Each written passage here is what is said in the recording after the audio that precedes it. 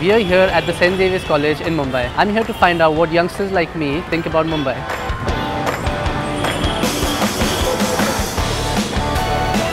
Excuse me guys, uh, can I just have a chat with you quickly? Yeah, sure. Uh, we are a roadshow called Road Chasers, which is organized by Hyundai and Times of India together. Uh, so a few questions to ask you about Mumbai. Uh, let's ladies first. Uh, what does Mumbai mean to you? It's my favorite city. It's a city of dreams. Life. Right? Is Yeah. it? It's a city to explore, like it's full of life. Mumbai Meri Jaan.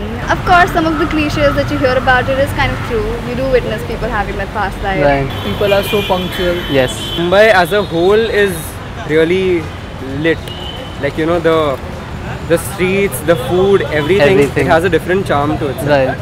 What is the most uh, special thing about Mumbai? Oh, I think my college.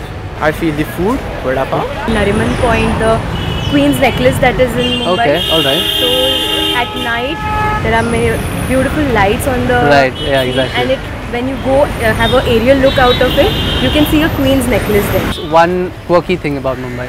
People of Mumbai. People of Mumbai. The trains are too crowded Right. while coming and going to college. One last question to both of you. If there is one place you'd like to suggest me to go to and have a lot of fun, where would it be? Marine Drive. The whole area is amazing. a gateway of India. It's very beautiful. Okay, alright. I'll suggest you should go to Bandstand. It's awesome.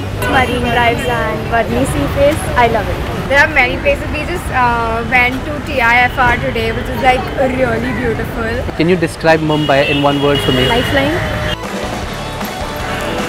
Road chasers. Road chasers. Road chasers. Road chasers.